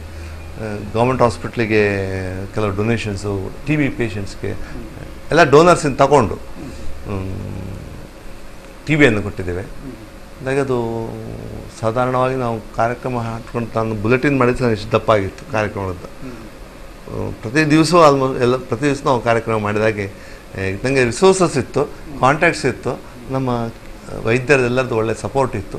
ಅದನ್ನು ಮನಗಂಡು, ನಮ್ಮ ಕರ್ನಾಟಕ, ವೈದ್ಯಕೀಯ ಸಂಘ, ನಮ್ಮ ಇಡೀ ಇದರ ಮುಖ್ಯ ಸಂಘ ನಮಗೆ diamond jubilee award for overall activities of the ನಮ್ಮ ಐ ಎಂ ಇ ಅಂತೇಳಿ ನನಗೆ ಅವಾರ್ಡ್ ಅನ್ನು ಕೊಟ್ಟಿದ್ದರು ಅದಕ್ಕೆಲ್ಲರ ಸಪೋರ್ಟ್ ನನಗೆ ಸಿಕ್ಕಿತ್ತು. ಅದು ನಿಜವಾಗಿ ಇಷ್ಟರವರೆಗೆ ಕರ್ನಾಟಕದಲ್ಲಿ ಯಾರಿಗೂ ಇಷ್ಟರವರೆಗೆ ಸಿಗಲಿಲ್ಲ ಅವಾರ್ಡ್ ಈಗೆಲ್ಲ ಸ್ಫೂರ್ತಿ ಯಾರು ನಿಮ್ಗೆ? ಇಷ್ಟೆಲ್ಲ ಕೆಲಸ ಮಾಡಿ ಸಾಧನೆ ಮಾಡಿ ಸ್ಫೂರ್ತಿ ಯಾರು ಇಂದಿನ ಶಕ್ತಿ ಯಾರು? ಖಂಡಿತವಾಗಿಯೂ ಪ್ರಥಮದಲ್ಲಿ ತಂದೆಯವರೇ. ತಂದೆ ಅವರ ಅವರ ಒಂದು ಚಲನವಲನಗಳಾಗಲಿ ಅವರದ್ದು ನೇಚರ್ ಆಗಲಿ ಅಥವಾ ಅವರದ್ದು ಅಡ್ಮಿನಿಸ್ಟ್ರೇಟಿವ್ ಕ್ವಾಲಿಟೀಸ್ ಆಗಲಿ ಸಹನೆ ಆಗಲಿ ಅದೆಲ್ಲ ನಮ್ಮನ್ನು ತುಂಬ ಆಕರ್ಷ ಆಗಿತ್ತು. ಪ್ರತಿಯೊಬ್ಬರು ಹೆಚ್ಚಾಗಿ ತಂದೆ ತಾಯಿಗಳೇ ಸ್ಫೂರ್ತಿ ಆಗಿರುವಂಥದ್ದು. ನನಗೆ ಅತೀವಾಗಿ ತಂದೆ ಮತ್ತು ತಾಯಿ ಮುಖ್ಯವಾಗಿ ತಂದೆ. ಅದರೊಟ್ಟಿಗೆ ಹಿರಿಯ ಅದ್ಮಾರು ಶ್ರೀಗಳವರು. ಅವರ ಅವರ ಮೂರೂ ಪೂರ್ಣಪ್ರಜ್ಞ ಕಾಲೇಜುಗಳಲ್ಲಿ ನಾನು ಹದಿನೈದು ವರ್ಷಗಳಲ್ಲಿ ವಿವಿಧ ಸಮಯಗಳಲ್ಲಿ ಕಾರ್ಯದರ್ಶಿಯಾಗಿ ಹಗಲು ರಾತ್ರಿ ನಾನು ಸೇವೆ ಸಲ್ಲಿಸೋದಕ್ಕೆ ಅಲ್ಲಿ ಸ್ಟೂಡೆಂಟ್ಸಿಂದ ಸ್ಟ್ಯಾಂಡಿಂಗ್ ಓವೇಷನ್ ಕೊಡಿಸಿದ್ರು ನನಗೆ ಅಷ್ಟು. ಅಂದರೆ ಹೊರಗಿನ ಪರೀಕ್ಷೆಗಳನ್ನು, ಅದು ಎಂಟು ಎಕರೆ ಜಾಗ ಅದು, ಹೊರಗಿನ ಪರೀಕ್ಷೆಗಳನ್ನು ಇಂಚು ನಾವು ಕ್ಲೀನ್ ಮಾಡಲಿಕ್ಕೆ ಪ್ರಯತ್ನ ಮಾಡಿದ್ವು. ಆಗ ಸ್ವಲ್ಪ ಕಷ್ಟ ಸುಸ್ಥಿತಿ ಇರಲಿಲ್ಲ. ಅದು ಒಳಗಿಂದ ಎಲ್ಲ ಬೇಕಾದ ಬೋಧಕ, ಬೋಧಕೇತರ, ಇದಕ್ಕೆಲ್ಲದಕ್ಕೆ ಇನ್ವಾಲ್ವ್ ಹಾಕ್ಕೊಂಡು ಅವರು. ಆಮೇಲೆ ಪೇಜಾರ್ ಸ್ವಾಮಿಗಳು. ಅವರು ಎಲ್ಲರಿಗೂ ಸಹಾಯ ಹಸ್ತವನ್ನು ಕೊಡುವವರು ಮತ್ತು ನಮಗೆ ಮಾರ್ಗದರ್ಶಕರು. ಈಗ ನಮಗೆ ಎಲ್ಲದಕ್ಕೂ ಸಹ ಅವರನ್ನು ನಾವು ಅವರೇ ಫೋನ್ ಮಾಡಿ "ನಾನು ನಿಮ್ಮಂತ ಹೇಳಿದ್ದು ಈಗ ಆಗಿದೆ. ಅಷ್ಟು ಒಳ್ಳೆಯ ಮುಗ್ಧ, ಒಳ್ಳೆಯ ಮನಸ್ಸು ಅವರು. ಅವರು ಟೀಮ್ ಎಪೈಗಳು ಟೀಮ್ ಎಪೈಗಳು ಅವರದ್ದು ಪ್ರಭಾವ ನಮಗೆ. ನಾವು ಅವರ ಇನ್ಸ್ಟಿಟ್ಯೂಟ್ ಕಲಿತೇವೆ ಅಂತ. ಅವರು ತೋರಿಸೋ ಪ್ರೀತಿ. ಅದು ಮುಖ್ಯವಾಗಿ ನನಗೆ ಇವರು ನಾಲ್ಕು ಮಂದಿ. ಆಮೇಲೆ ಗಾಂಧೀಜಿಯವರು. ಹೊರಗೆ ಬಂದು ನಾನು ಹೇಳೋದಾರೆ ಏಕೆಂದರೆ ಅವರ ಒಂದು ಜವಾಬ್ದಾರಿಯನ್ನು ತೆಗೆದುಕೊಳ್ಳುವ ಮೊದಲು ಯೋಚನೆ ಮಾಡಿ, ಬೇಕಾದಲ್ಲಿ ಸುತ್ತಾಡಿ ತೆಗೆದುಕೊಳ್ಳುವ ಚಿಂತನೆ ಮಾಡಿ ಮಾಡಿಕೊಂಡಂತಹ ಕೆಲಸಗಳನ್ನು ಅವರು ಮಾಡಿದರು. ನನಗೆ ಮತ್ತೊಂದು ಪ್ರಭಾವ ತುಂಬ ಕೊಟ್ಟದ್ದು. Dostoevsky Leo Tolstoy. ಅವರ ರಿಸರ್ವೇಷನ್ ವಾರಂಟ್ ಪೀಸ್ ಅವರ ಬಯೋಗ್ರಫಿ ಓದಿದ್ದೆ. ಅವರು, ನಾನು ಮಾಡೋ ಮೊದಲು, ಆ ಮಾಡೋದನ್ನು, ಅಲ್ಲ, ನಾನು ಬರೆಯೋ ಮೊದಲು, ಅದನ್ನು ನಿಜವಾಗಿ ನಾನು ಕಾರ್ಯಕ್ಕೆ ರೂಪಕ್ಕೆ ತಂದು ಮತ್ತೆ ಬರೆದವರು. ಮತ್ತು ಈ ಯೂನಿವರ್ಸಲ್ ಬ್ರದರ್ಹುಡ್ನ ಒಂದು ಕಾನ್ಸೆಪ್ಟನ್ನು ನಮ್ಮ ಕೃಷ್ಣದೇವರು ಹೇಳಿದ್ದಾರೆ. ಎಂಥದ್ದು ವಸುದೇವ ಕುಟುಂಬಕಂ ಅಂತ ಹೇಳಿದ್ದಾರೆ. ಯೂನಿವರ್ಸಲ್ ಬ್ರದರ್ಹುಡ್ ಅಂತ ಹೇಳಿದ ಆ ವಾರಂಟ್ ಪೀಸು ನನಗೆ ಭಾಳಷ್ಟು ಸಂದಿರ ನಾನು S L C P U C ಅಲ್ಲ ಓದಿತ್ತು ಸಿಂಪಲ್ ರಷ್ಯನ್ ಈ ರಷ್ಯನ್ ಆಥರ್ಸ್ ಆದ್ರಿಂದ ಅವರು. ಅವ್ರು ಸಿಂಪಲ್ ನಮ್ಮದೇ ರೀತಿ ಇಂಗ್ಲೀಷ್ಗಳು ಈ ಅಮೇರಿಕನ್ ಇಂಗ್ಲೆಂಡ್ ಸ್ವಲ್ಪ ನಮಗೆ ಕಷ್ಟ, ಓದಲಿಕ್ಕೆ ಕಷ್ಟ ಆಗುತ್ತೆ. ಕನ್ನಡ ಮೀಡಿಯಮ್ನವ್ರನ್ನ ಇವರು ನನಗೆ ಹೆಚ್ಚಾಗಿ ಒಂದು ಸ್ಥಳ ಮೇಲಿನ ಸ್ಥಳದಲ್ಲಿ ಇವರು ಇಷ್ಟ ಮಾಡಿದ್ದಾರೆ ಚಿಕ್ಕನ್ನಲ್ಲಿ ಓದುವ ಹವ್ಯಾಸ ಬೇರೆ ಹವ್ಯಾಸ ಚಿಕ್ಕನ್ನಲ್ಲಿ? ನಂದು ಹವ್ಯಾಸಗಳಲ್ಲಿ ಮುಖ್ಯವಾಗಿ ಗಾರ್ಡನಿಂಗ್. ಇವತ್ತಿಗೂ ಕೂಡ ಅದನ್ನು ಈಗದವರೆಗೂ ನಂಗೆ ಗಾರ್ಡನಿಂಗ್ ನಂದು ಫಸ್ಟ್ ಹಾಬಿ ಅನ್ನೋದು ಗಾರ್ಡನಿಂಗ್. ಚಿಕ್ಕದಿರುವಾಗ ಎಲ್ಲರಿಗೆ ಅಂತ ಹೇಳಿದ್ರೆ ದೇವಸ್ಥಾನದಲ್ಲಿ ತಂದೆ ಹತ್ರ ಪರ್ಮಿಷನ್ ತಗೊಂಡು ಎಲ್ಲ ಹೂವಿನ ಗಿಡಗಳನ್ನು ಐದು ಸಾವಿರ ಹತ್ತು ಸಾವಿರ ಬೆಳೆಸಿ ಊರಿಗೆಲ್ಲ ಹಂಚ್ತಾ ಇದ್ದೆ. ನನ್ನ ಕಾನ್ಸೆಪ್ಟ್ ಏನಂದರೆ ನನ್ನ ಮನೆ ಮಾತ್ರ ಚೆಂದಾಗೋದಲ್ಲ ಊರಿನ ಎಲ್ಲ ಮನೆಗಳು ಚೆಂದಾದರೆ ನೋಡೋದು ನಾವೆಲ್ಲ. ನಮಗೆ ಸಂತೋಷ ಅವರಿಗೂ ಸಂತೋಷ ಆಯಿತು. ಬಂದವರಿಗೂ ಸಂತೋಷ ಆಗುತ್ತೆ. ಉಡುಪಿ ಅಲ್ಲ ಅಂಬಲ್ಪಾಡಿಯೂ ಚೆಂದ ಆಗುತ್ತೆ ಅಂದರೆ ಈಗಲೂ ಗಾರ್ಡನ್ ಕಾಂಪಿಟೇಷನ್ಸ್ ನಾನು ವರ್ಷ ವರ್ಷ ಡಿಸ್ಟ್ರಿಕ್ಟ್ ಲೆವೆಲ್ ಮಾಡಿದ್ದೀನಿ. ಅದೊಂದು. ಅದೇ ಮತ್ತು ಪೆನ್ಸಿಲ್ ಸ್ಕೆಚ್ ಮತ್ತು ಚಾರ್ಕೋಲ್ ಪೇಂಟಿಂಗ್ ನಾನು ಮಾಡ್ತಾಯಿದ್ದೆ ಈಗ ಮಾಡಲಿಕ್ಕೆ ಸ್ವಲ್ಪ ಕಷ್ಟ ಆಗ್ತದೆ. ಎಕ್ಸಿಬಿಷನ್ಸ್ ಆ, ಕೆಲವು ಕೆಲವು ಆಗಿ ಆಗಿದೆ. ಅದರೊಟ್ಟಿಗೆ ನನಗೆ ಒಂದು ಹದ್ ಒಂದು ಏಳು ವರ್ಷ ತಬಲಾ ಕಲ್ತಿದ್ದೇನೆ.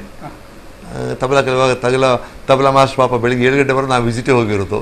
ಹಾಗೆ ಬಲ್ಲಾಟ್ರೆ ನಿಮ್ಮೊಟ್ಟಿಗೆ ನೀವು ತಬಲಾ ಕೇಳಿ ನಿಮಗೆ. ಅದೇ ನನಗೆ ಸಾಧಾರಣವಾಗಿ ತಬಲ ಕೂತ್ಕೊಂಡು ನನ್ನಷ್ಟಕ್ಕೆ ಬಾರಿಸಲಿಕ್ಕೆ ಎಲ್ಲ ಪದ್ಯ ಇದ್ದರೆ ಬಾರಿಸ್ಲಿಕ್ಕೆ ಆಗುತ್ತೆ.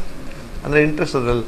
ಅಂತ ಕೆಲವು ಮತ್ತು ಅಡ್ಮಿನಿಸ್ಟ್ರೇಷನ್ ನಾನು ಅದು ಮೊದಲಿನ ತಂದೆಯೊಟ್ಟಿಗೆ ಇದ್ದದ್ರಿಂದ. ಅಡ್ಮಿನಿಸ್ಟ್ರೇಷನ್ ಮೊದಲಿಂದು ನಾನು ಸಂದರ್ಭವಾಗಿಂದು ಶಾಲೆಯಲ್ಲೇ ಆಗಲಿ ಎಲ್ಲೇ ಆಗಲಿ ಅಡ್ಮಿನಿಸ್ಟ್ರೇಟಿವ್ ಇದಕ್ಕೆ ಬರುವಾಗ ನಾನು ಸಮಥಿಂಗ್ ಸ್ಪೆಷಲಾಗಿ ನಾನು ಬರ್ತಾಯಿದೆ ನನಗೆ ಅನಿಸ್ತಿತ್ತು ಅದು ಮಾಸ್ಟರ್ನವ್ರು ಹೇಳ್ತಾಯಿದ್ರು ನೀನಾಗಬೇಕಾ ಅಂತೇಳಿ ಹಾಗೆ. ಸರ್, ನೀವು ಆಮೇಲೆ ಧರ್ಮದರ್ಶಿ ಆದ್ರಿ. ಧರ್ಮದರ್ಶಿ ಆದಮೇಲೆ ಅಲ್ಲಿನ ಅನುಭವಗಳು ಹೇಗಾಯಿತು? ನಾನು ಚಿಕ್ಕಂದಿಂದ ತಂದೆಯವರು ಒಟ್ಟಿಗೆ ದೇವಸ್ಥಾನದ ಕೆಲಸಗಳು ತಂದೆ ಹೇಳಿದ್ದನ್ನೆಲ್ಲವನ್ನು ಮಾಡೋದ್ರಿಂದ ಅಲ್ಲಿ ನನಗೆ ತಂದೆ ಯಾವ ರೀತಿ ಅಡ್ಮಿನಿಸ್ಟ್ರೇಷನ್ ಮಾಡ್ತಾ ಇದ್ದಾರೆ, ಯಾವ ರೀತಿ ಆಗ್ತಾ ಇದೆ, ಮತ್ತು ಆಗು ಹೋಗುಗಳು ಅಲ್ಲಿ ಏನೆಲ್ಲ ಇದೆ, ಏನೆಲ್ಲ ಆಗಬೇಕು, ಇದ್ರ ಬಗ್ಗೆ ನನಗೆಲ್ಲ ಎಲ್ಲ ಮಾಹಿತಿಗಳು ಗೊತ್ತಿತ್ತು. ಕೊನೆಯವರೆಗೆ ತಂದೆ ಒಟ್ಟಿಗೆ ಅದರಲ್ಲಿ ನಾನು ಪೂರ್ತಿಯಾಗಿ ಅವರು ಅವರು ಹೇಳಿದ ಹೇಳಿದ್ದಕ್ಕೆಲ್ಲದಕ್ಕೆ ನಾನು ಪೂರ್ತಿಯಾಗಿ ನಾನು ತೊಡಗಿಸ್ಕೊಂಡಿದ್ದೆ. ಧರ್ಮದರ್ಶಿ ಆದಮೇಲೆ ನನ್ನ ಮುಖ್ಯವಾಗಿ ಇಟ್ಕೊಂಡದ್ದು ನಾನು ಏನು ಅಂತೇಳಿ ಧರ್ಮನುಷ್ಯ ಹೇಳಿದರೆ ನಾನು ಮುಖ್ಯವೋ, ಆ ಪೀಠ ಮತ್ತು ದೇವರು ಮುಖ್ಯವೋ, ಅಥವಾ ದೇವಾಲಯ ಮುಖ್ಯವೋ, ಬರೋ ಭಕ್ತರು ಮುಖ್ಯವೋ, ನಾನು ಧರ್ಮಋಷಿಯೇ ಮುಖ್ಯವೋ ಸ್ಪಷ್ಟವಾಗಿ ನಾನು ತಂದೆ ಬಗ್ಗೆ ಚಿತ್ರಣ ಕೊಡ್ತಾಯಿದ್ರು ದೇವರಿಗೆ, ದೇವರನ್ನು ನೋಡಲಿಕ್ಕೆ ಭಕ್ತರು ಬರ್ತಾರೆ. ಅಂದರೆ ಬರೋ ಭಕ್ತರೆಲ್ಲರೂ ನಮಗೆ ದೇವರು. ಆ ರೀತಿ ನಾವು ಕಾನ್ ಇಟ್ಕೊಂಡ್ರೆ ಮಾತ್ರ ನಮಗೆ ಅದನ್ನು ಬೆಳೆಸ್ಲಿಕ್ಕಾಗುತ್ತೆ. ನಿಜವಾದ ಉದ್ದೇಶದಲ್ಲಿ ಪೂರೈಸಿದಾಗುತ್ತೆ ಅಂತ. ಈಗ ಅದೇ ರೀತಿಯಲ್ಲಿ ತಂದೆ ಮಾಡಿದ್ದಕ್ಕಿಂತ ಹೆಚ್ಚು ಏನು ಮಾಡಲಿಕ್ಕೆ ನನಗೆ ಆಗದಿದ್ದರು ಅದನ್ನು ಆ ರೀತಿಯಲ್ಲಿ ಆದಷ್ಟು ಅದೇ ರೀತಿಯಲ್ಲಿ ಮುಂದುವರಿಸಿಕೊಂಡು ಬಿಟ್ಟು ಅದು ನಿಜವಾಗಿ ಸ್ವಚ್ಛತೆಗೆ ಮುಖ್ಯವಾದ ಆದ್ಯತೆ, ಪೂಜೆ ಪುನಸ್ಕಾರಗಳಿಗೆ ಆದ್ಯತೆ. ಬಂದವರಿಗೆ ನೋವಾಗದೆ ದೇವರ ಮನಸ್ಸನ್ನು, ಪ್ರಸನ್ನತೆಯಿಂದ ದೇವರ ಪ್ರಾರ್ಥನೆ ಮಾಡುವಂಥದ್ದು ಅವಕಾಶ. ಇದಕ್ಕೆಲ್ಲ ಹೆಚ್ಚು ಆದ್ಯತೆಯನ್ನು ನಾವು ಕೊಡ್ತೇವೆ. ಅದರೊಟ್ಟಿಗೆ ಹಲವಾರು ನಮ್ಮ ಇನ್ನು ಮುಂದೆ ಮಾಡುವಂಥ ಯೋಜನೆಗಳು ಭಾಳಷ್ಟು ಯೋಚನೆ ಮಾಡ್ತಾ ಇದ್ದೇವೆ. ಮತ್ತು ಭೋಜನ ವ್ಯವಸ್ಥೆ ಬಗ್ಗೆ ಹೆಚ್ಚಿನ ಆಸಕ್ತಿಯನ್ನು ಕೊಡ್ತಾ ಕೊಡ್ತಾ ಇದ್ದೇವೆ. ಮತ್ತು ಕುಟುಂಬ ಪ್ರಜ್ಞೆ. ನಾನು ಪ್ರತಿಯೊಂದು ನಮ್ಮ ಕಾಲೇಜಿನಲ್ಲಿ ಅದು ಹೇಳ್ತಾ ಇದ್ದೆ ಐ ಎಂ ಅದು ಹೇಳ್ತಾ ಇದ್ದೆ. ಋಣಾಲ್ ಬಂದರೆ ನಾವೆಲ್ಲ ಒಟ್ಟಾಗಿ ಸೇರಿದ್ದೇವೆ. ಹಾಗಾಗಿ ಓಪನ್ ಆಗಿರಿ ನನ್ನ ಹತ್ರ. ಹಿಂದಿನ ನೀವು ಮಾತಾಡೋದು ಬೇಡ. ಎಂತಿದ್ರು ಓಪನ್ ಆಗಿ ಬಂದು ಹೇಳಿ, ಏನು ಪ್ರಾಬ್ಲಮ್ ಅಂತೇಳಿ ಸಾಲ್ವ್ ಮಾಡ್ಲಿಕ್ಕಾದ್ರೆ ಸಾಲ್ವ್ ಮಾಡೋಣ.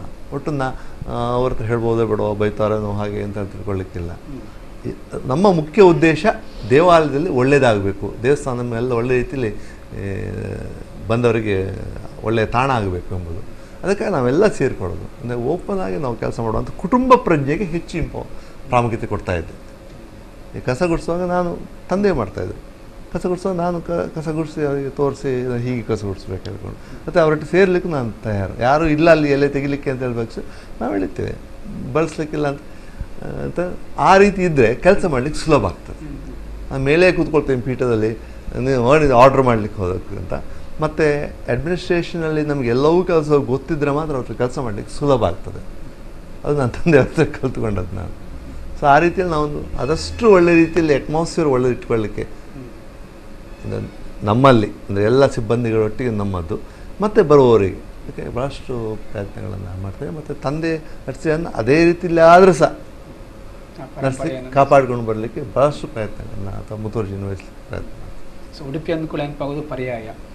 ಪರ್ಯಾಯದಲ್ಲಿ ನೀವು ಕೂಡ ತುಂಬ ಸೇವೆ ಸಲ್ಲಿಸಿದ್ದೀರಿ. ಅದರ ಸಂಯೋಜಕರಾಗಿದ್ದೀರಿ. ಆ ನೆನಪುಗಳು ಇವತ್ತು ನಮಗೆ ಹಂಚಿಕೊಳ್ತೀವಿ ನಾನು ಹಲವಾರು ವರ್ಷಗಳಲ್ಲಿ ನನಗೆ ಪರ್ಯಾಯ ಅಂತ ಹೇಳೋ ನೆನಪಾಗೋದು ವಿಜಯಾಶರಣೆಯವರು ನಾನು ಸಣ್ಣ ವಯಸ್ಸಿನಲ್ಲಿರುವಾಗ ವಿಜಯಾಶನೊಟ್ಟಿಗೆ ಅವರು ಪ್ರಯಾಯ ಕಮಿಟಿ ಅಧ್ಯ ಕಾರ್ಯದರ್ಶಿಯಾಗಿ ಹಲವಾರು ವರ್ಷಗಳು ಕೆಲಸ ಮಾಡಿದರು.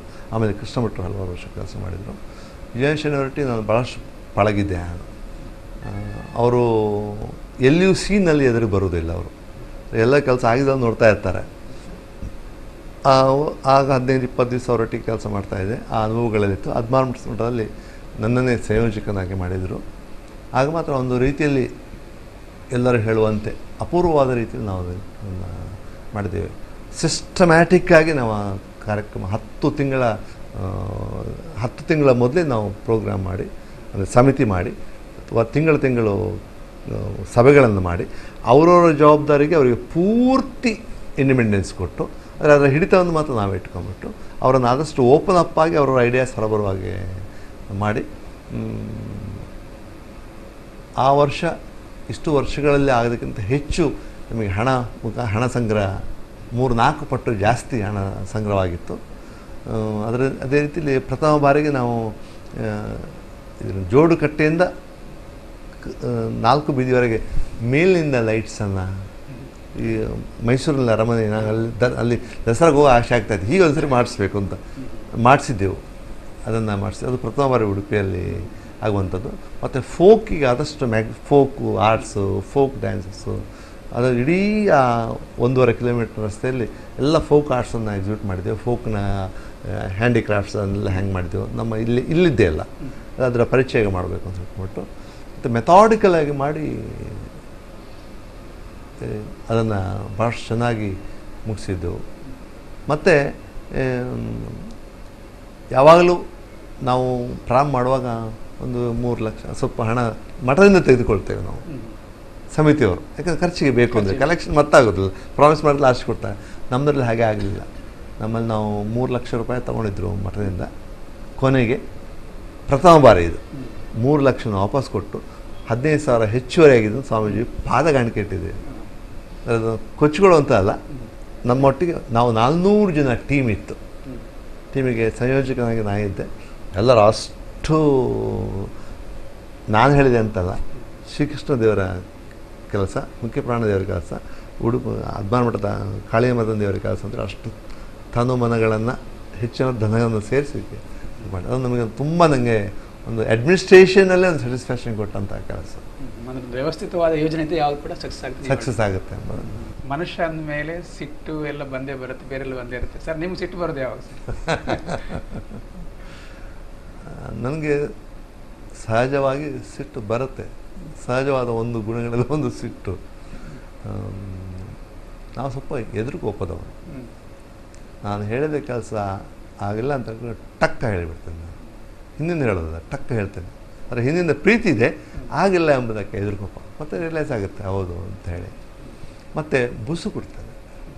ನಾವು ಇಷ್ಟು ಜನರದ್ದು ಕೆಲಸ ಮಾಡಿಸುವಾಗ ಅಥವಾ ಪೇಷಂಟ್ ಸರಿಯಾಗಿ ಮತ್ತೆ ತಗೊಳ್ಳೋದಿಲ್ಲ ಮರು ದಿವಸ ಒಂದು ಏನು ಗುಣ ಇಲ್ಲ ಡಾಕ್ಟ್ರ್ ಹೇಳೋದು. ನಾನು ಸುರಿಗೆ ನೋಡೋದು ಈಗ ಮದ್ದು ಸರಿ ಇಲ್ವಾ ಅಂತ ಹೇಳ್ಕೊಂಡು. ಆಗ ಬುಸು ಬುಸು ಹೇಳ್ಕೊಂಡು, ಯಾಕಪ್ಪ ಅಂತ ಹೇಳಿ.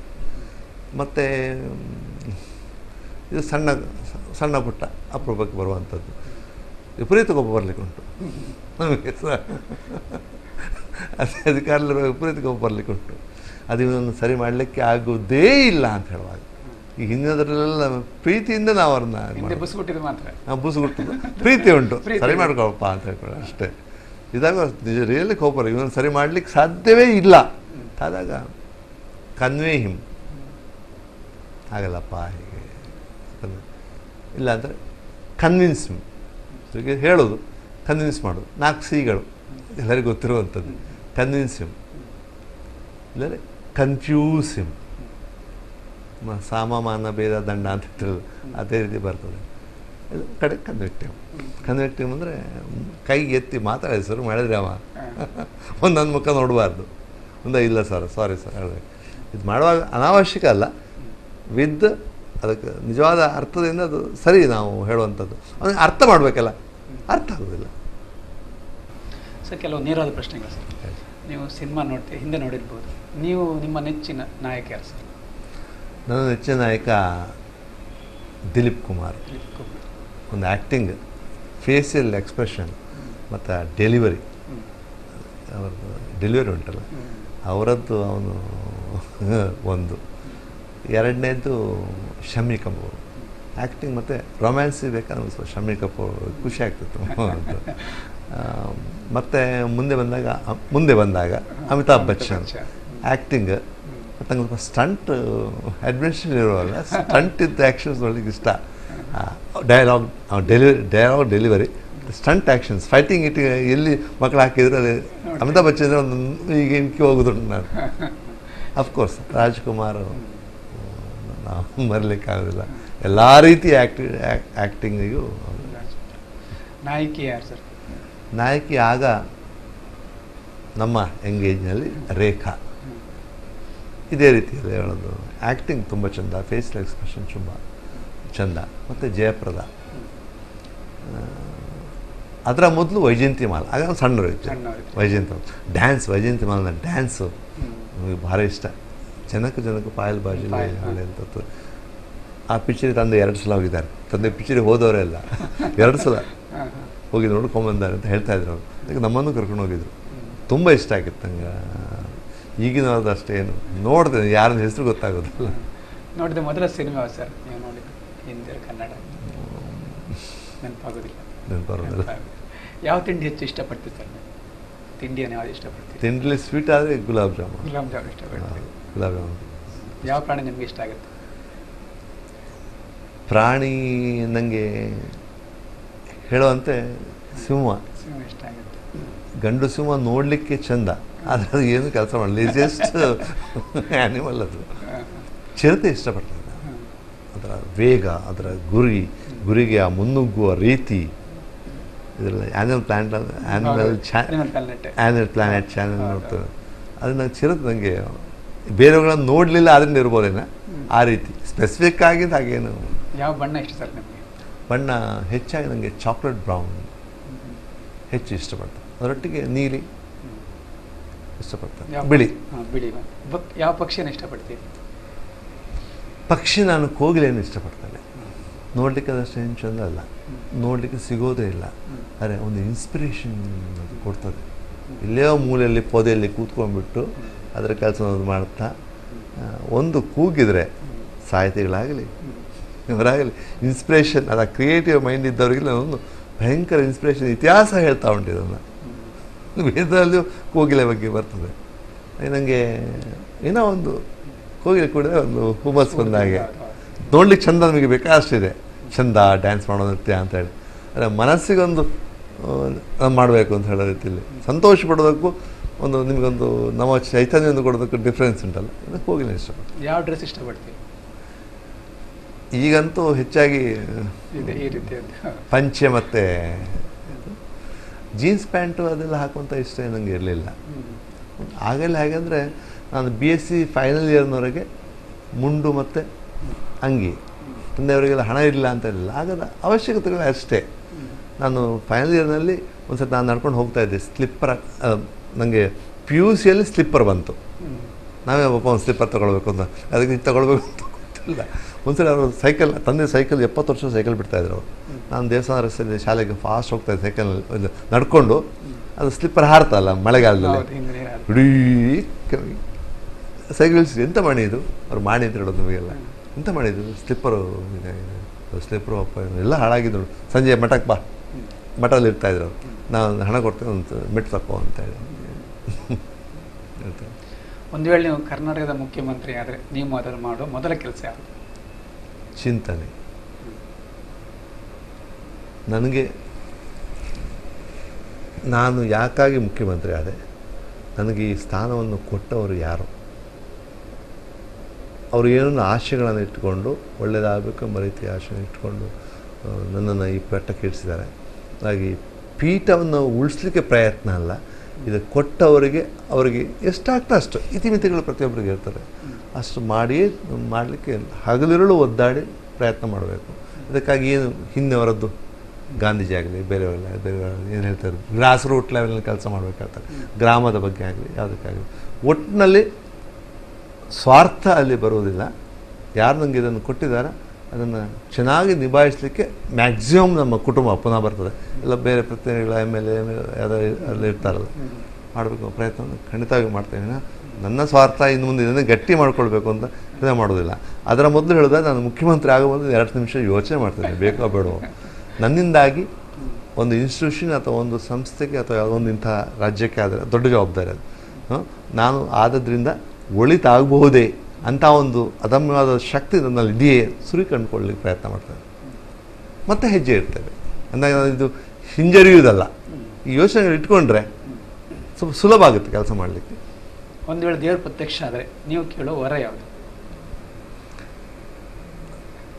ಸಾರ್ಥಕ ಬದುಕು ಬದುಕುವಂತಹ ಅಥವಾ ಬೇರೆಯವರಿಗೆ ಉಪಕಾರ ಮಾಡಲಿಕ್ಕಾಗದಿದ್ರು ಉಪದ್ರ ಮಾಡದೆ ದೇವರು ಕೊಟ್ಟ ಜೀವನ ನಡೆಸಿಕೊಂಡು, ಹಾಂ, ತೊಂದರೆ ಅಂತ ಹೇಳೋ ರೀತಿಯಲ್ಲಿ. ಎತ್ತರ ಗಿತ್ತರ ಎಲ್ಲ ಇರ್ಬೋದು. ಅದು ಆ ಪ್ರಶ್ನೆ ಅಲ್ಲ. ಮುಖ್ಯವಾಗಿ ನಾವು ಎಲ್ಲವೂ ಪಶು, ಪಕ್ಷಿ, ಪ್ರಾಣಿ ನೀರು ಕಟ್ಟಿಟ್ಟು ನಾವು ನಾವು ಸಹ ಅದೇ ಒಂದು ಬೇರೆ ವರ್ಗ ಅಷ್ಟೇ. ಮನುಷ್ಯ ಆಗಲಿಕ್ಕೆ ಇಚ್ಛೆ ಪಡ್ತೇನೆ.